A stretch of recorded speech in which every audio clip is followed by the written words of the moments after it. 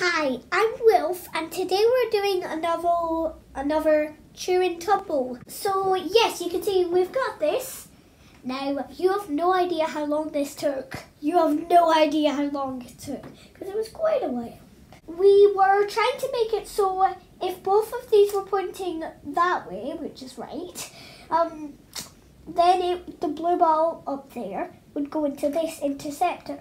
Now, if like if it was like that, any other combination of these two blue bits would mean that it would go down here through this one and then it would go into the and then it would push the red and then the red would go pop pop pop pop pop pop. Wait hold on. No no wait hold on. So the blue would have flipped that and then it would have gone down.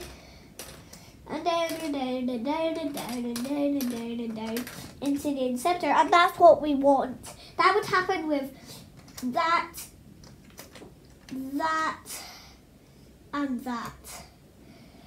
So yes and the funny thing is the book that recommended it over there we didn't have to use these pieces. Let's test this baby out.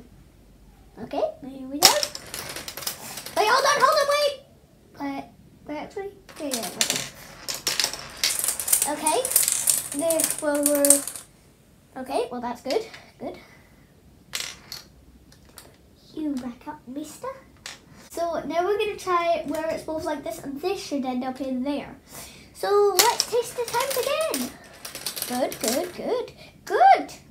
So let's taste it out.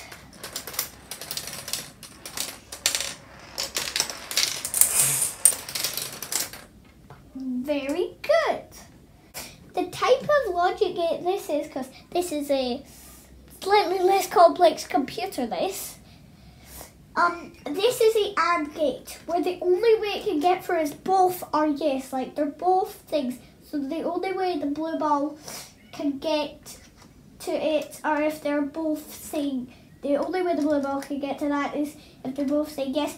And the red ball can get to it where one saying no, they're both saying no, but the other one's saying no, and the other one from that other one is saying yes. See you again next time for another Turing Tumble video.